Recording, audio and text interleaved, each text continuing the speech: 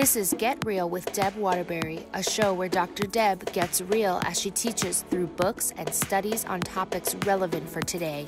And now, here is your host, Dr. Deb Waterbury. Welcome to our last message in our series on Threads, book three of the Painted Window Trilogy. That's book two, sorry. Book two of the Painted Window Trilogy. I'm already going on to book three. Now, book two of the Painted Window Trilogy is Threads. We're on the very last chapter, part eight, which is called Remind Them. We um we are go- we've gone through the first book, Painted Window. We're finishing the second book. We will start the next book, Painted, uh, which is called White Zephyr. It is the third book in the trilogy, and and White Zephyr will be the culmination of this. So we know we've moved through, and you can get all these books at debwaterbury.com you know, we've moved through this journey of Elizabeth and her friends who are indicative of we as believers, as the in the accepting of Jesus as our bridegroom who loves us and has saved us. And then the second book about what do we do with when he's not here? How do we go up against trials, tribulations, assaults from the enemy to try to remember his words? And then book three is that once we've kind of get to that, how do we fulfill our mission on this earth waiting on Jesus to return? So, allegorically, the characters set in this medieval town uh, village called Comdenshire are doing the same sorts of things, but from an allegorical standpoint. So, what we have here in part eight, as we end threads, is that Elizabeth and her friends, there are 12 of them, and they have gone through lots of stuff through this book, and um, and they've because they've forgotten. You know, Reginald gets called away. King Reginald gets called away at the very beginning of the the book, much as Jesus says was, was ascended and is not here. And because he wasn't there physically with them, it was difficult for them to hang on to his words, hang on to his encouragement, hang on to his rules, hang on to his love, even.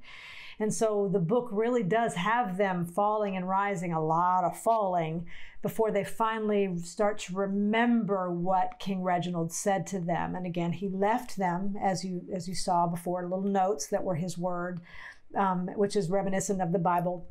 And so by the end, as you get to the end of part eight, you'll see they've all come together um, in this home, uh, and and they're at this place now, and they're outside, and the people of Comdenshire have gone out of their minds. There's rioting happening. People are, you know, yelling, fighting, whatever, because they have fallen into a state of sin because they've lost sight of the fact that the king will return. These 12 recognize because the king gave them this assignment that it is theirs to remind the people that the king's coming back. And so at the end of book two, they're trying to figure out how they're going to do that. And then we move into book three from there. Remembering that all the while we have all the forces of darkness mostly exemplified in that one character named Humphrey, but he has lots of other people working with him that keep assailing and assaulting the people. And right now, he seems to be being pretty triumphant in that. He's very successful. They're kind of going nuts and they're all falling into sin. So what do these 12 that King Reginald has have commissioned to remind the people how do they do that? That will be book 3. So right now it is about this final section and I did call this remind them. And and I thought it was it would be important for us to go back and talk about what it looks like to translate into real trust that God is our first source of comfort and that Jesus is coming back. So we talked last week about remembering that we have a purpose, that we have to go to God first. And so I want to end with why is that important? Why is it important that we go back to His Word? Why is that the undergirding that we need so that we can do what we are set here on this earth to do, fulfill our purpose in kingdom building? And I, you know, I always, whenever I'm at a place where I'm trying to figure out how to do something when I'm in the middle of bad stuff or whatever, I love going back to David. David was, as we know, a man after God's own heart, but, but being called a man after God's own heart means that he was literally going after God all the time. David's one purpose, his whole, focus was what does God say? What would God have me do? He always turned back to God. That made him a man after God's own heart. That didn't mean he didn't sin, didn't mean he didn't mess up, didn't mean he wasn't prideful sometimes. I mean, the man committed murder, adultery, pride, all kinds of stuff. He did all kinds of things wrong. It wasn't that he was perfect, but that he always went back to his father. So I thought it would be really important for us to end this book as we all go out into the world today and tomorrow and the next day. Save it if Jesus comes back, which we really pray that he does. But if he doesn't, then we go out into the world these days and we've got to figure out how to do it right? What do, how, do, how can we do that? And where, how do we know how to go to God when it doesn't look so good? David really gives us a great picture of that in many of the Psalms, but one of the ones I think he does the best in is Psalm 25. So Psalm 25 uh, again was written by David. You can go ahead and read there, go there if you want to. Um, we're going to be reading that in its entirety here in a moment. But um, I wanted to look there because there are three things about David that we can see in Psalm 25 that I think are easy for us to apply to our own lives in this world while we try to figure out how we go about our purpose and kingdom building. What was his situation? How does he look for guidance? And how does he make sure he's hearing from God? I think those three sections, if we can apply what David learned about those three things, we can apply them easily to just about any situation in our lives. So let's start by reading Psalm 25, and then I want to go back and look at those three questions and talk about how David can teach us how to move through situations by looking at God's word in an appropriate way and who God is. So, Psalm 25, let's read that together first, and then, and I'm going to read it in its entirety. It's not terribly long, but it'll take me a minute. So, it's my little subtitle says, Teach me your paths of David.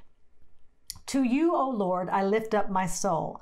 O oh my God, in you I trust. Let me not be put to shame. Let not my enemies exult over me. Indeed, none who wait for you shall be put to shame. They shall be ashamed who are wantonly treacherous. Make me know your ways, O Lord. Teach me your paths. Lead me in your truth and teach me, for you are the God of my salvation. For you I wait all the day long. Remember your mercy, O Lord, and your steadfast love, for they have been from old. Remember not the sins of my youth or my transgressions. According to your steadfast love, remember me, for the sake of your goodness, O God. Good and upright is the Lord, therefore he instructs sinners in the way. He leads the humble in what is right and teaches the humble his way. All the paths of the Lord are steadfast love and faithfulness for those who keep his covenant and his testimonies. For your name's sake, O Lord, pardon my guilt, for it is great. Who is the man who fears the Lord? Him will he instruct in the way that he should choose. His soul shall abide in well being, and his offspring shall inherit the land. The friendship of the Lord is for those who fear him, and he makes known to them his covenant. My eyes are ever toward the Lord, for he will pluck my feet out of the net. Turn to me and be gracious to me, for I am lonely and afflicted.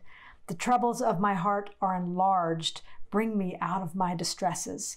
Consider my affliction and my trouble and forgive all my sins. Consider how many are my foes and with what violent hatred they hate me. O guard my soul and deliver me. Let me not be put to shame, for I take refuge in you. May integrity and uprightness preserve me, for I wait for you. Redeem Israel, O Lord, out of all of his troubles. So when we look at this, then the first thing we see about what David is doing is, is his situation. I kind of want to talk about that first question.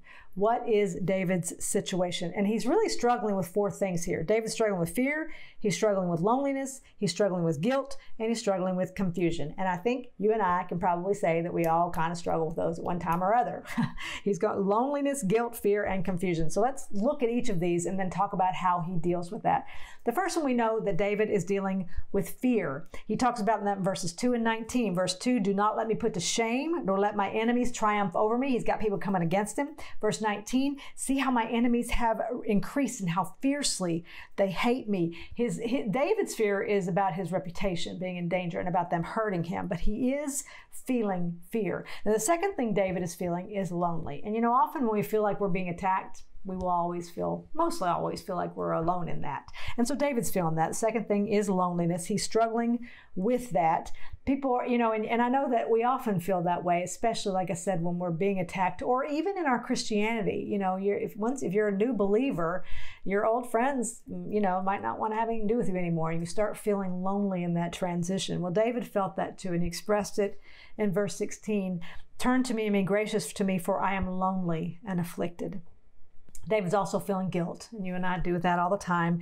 He's struggling with guilt because of his sins, and he says that four times in this in this um, in this psalm. Verse 7 Remember not the sins of my youth and my rebellious ways. Verse 8 Good and upright is the Lord, therefore he instructs sinners in his ways.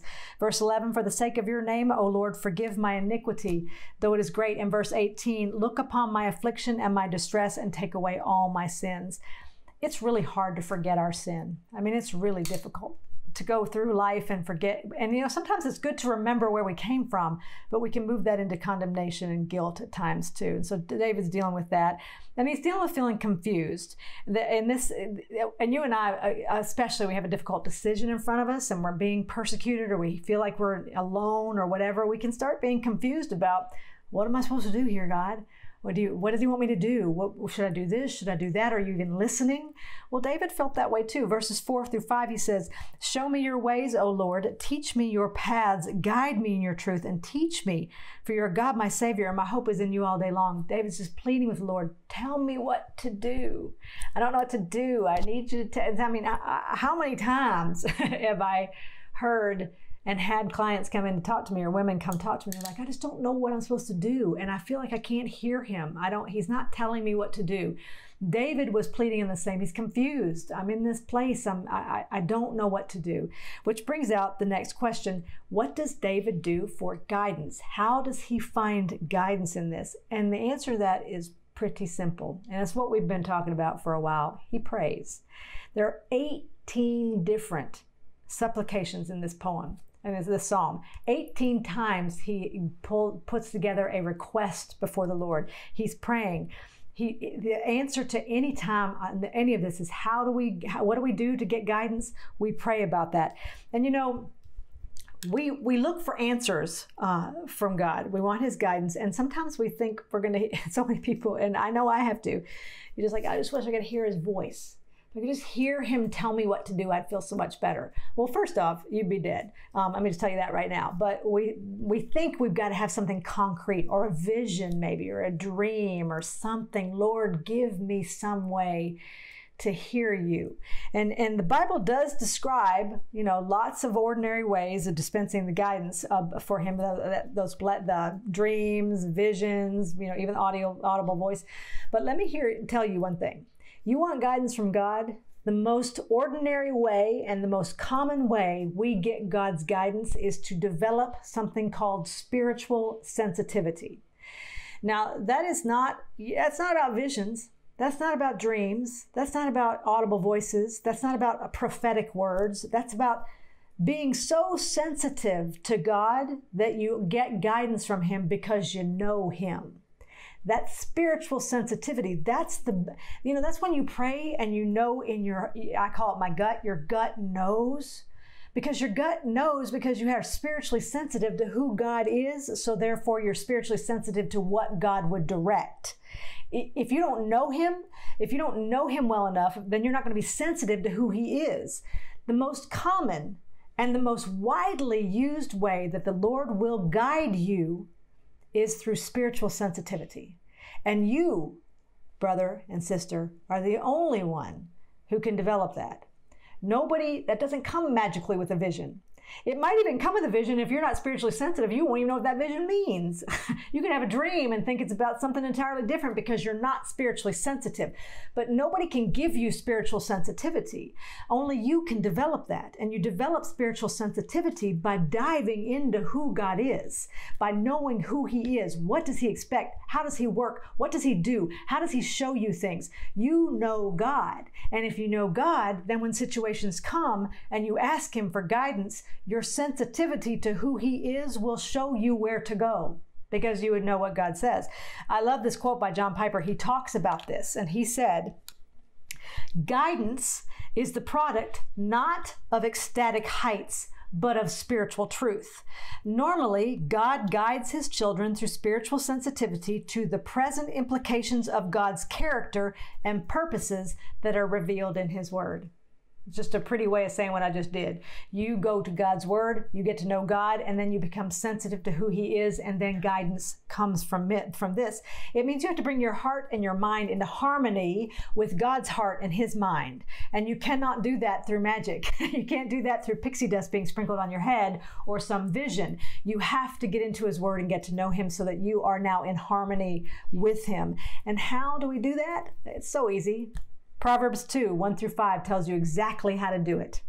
My son, if you accept my words and if you store up my commands within you, turning your ear to wisdom and applying your heart to understanding, and if you call out for insight and if you cry aloud for understanding and if you look for it as if for silver and if you search for it as if for hidden treasure, then you will understand the fear of the Lord and find the knowledge of God.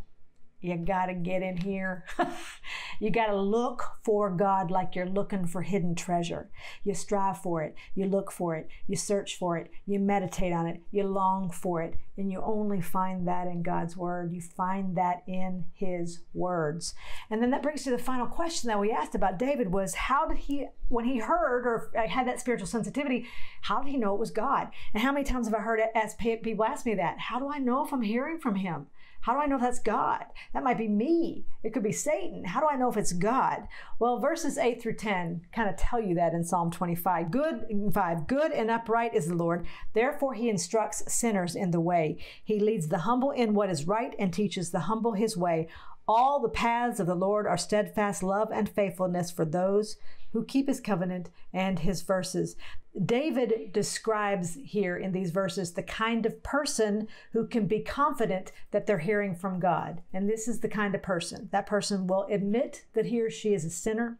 They will be humble before the throne of grace in that imperfect state that they are, and they will keep God's commands. You cannot hear from God. Hear me, hear me, hear me you cannot hear from God or will have a difficult time doing so if you are in rebellious sin.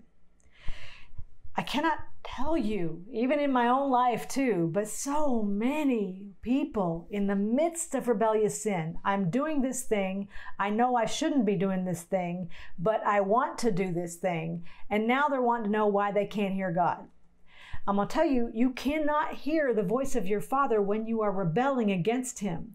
Those who know they're getting God's guidance are keeping His commands and are moving as much as they can in the purity of who He says we should be. When you know something is wrong and you can, rebellious sin is not one time or, you know, you may do it and then you repent. Rebellious sin is continuous. It means I'm in this, it's, it's having an affair, it's drinking every night, it's, you know, lying all the time, gossiping every time you get a chance.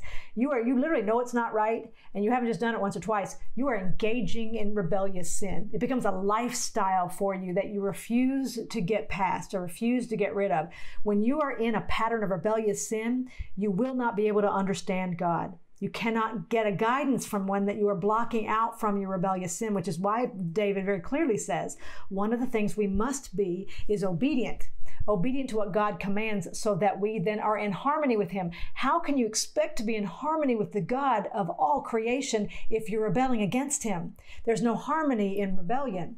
So you have to be uh, literally aligned with him and what he teaches in order to be in harmony with his heart mind and his heart and mind so that you'll know what it is he would guide you to do and you know I, I, go back to what i talked about last week for just a second. When you you have to go hear first to god's word counsel from others be it a counselor a minister a pastor a friend whoever that has to be subsequent. It has to be just to confirm what god himself says. So let me help you with just a couple things three things to take counsel from psalm 25 the first thing is as you walk with him there's going to be trouble. Don't don't there's no rose colored glasses. As you walk with jesus there's going to be trouble, and you will struggle with fear and loneliness and guilt and confusion. You just will. But number two, when you do, you need to come to Him, to God, in prayer and bring all your struggles with no hesitation. And then number three, the basis of your expectation when you come is not that the messages are promised in visions, but that guidance is promised in humility and in the fear of the Lord, which is your own goal of holiness. These, this is the counsel we get when we're, when we're in a situation we need guidance from God. That's go to Psalm 25. Go to these things the way David did it. And this is the counsel we get from that. So as we come to the end of threads, and we're going to move into White Zephyr next, we see that there's trouble for the characters and there it's it's trouble for us just as it's trouble for them. Elizabeth and her friends are going to find that they have even more trouble ahead of them but they fixed their eyes on the truth. They have brought themselves finally into harmony with king reginald and in that harmony they fix their eyes on the truth.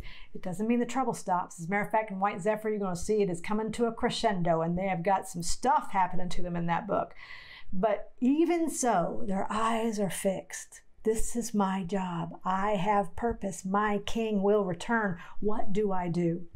Make God's word the place that you go in this day, in this present season, in this place where we live. Jesus is coming. You know that. When you get to the point of, of, of understanding and you're really moving and you're rooting in God's words, fix your eyes on that prize. What is it that you're to do as we look forward to his coming again? You do not sit. Why did Jesus tell the parable of the people, the, the men that got the talents? And one of them, you know, invested, another one, of they invested and, and doubled it to 10, five, whatever. And then that one dude buried it and only had one. Why was he, why, you know, you read that and sometimes people are like, well, why is that so bad? At least he had the one, he didn't lose it. Well, he didn't do anything with it. It would be like you and I thinking, yep, Jesus is coming again. I'm his. I'm going to sit over here in a corner and just hide and wait until he comes. That's not your purpose. As I told you two or three weeks ago, your purpose on this earth is not your own happiness. Your purpose on this earth is not to have a nice house and a nice car, to live in comfort and make sure you have good friends and you can play golf whenever you want to. That's not your purpose.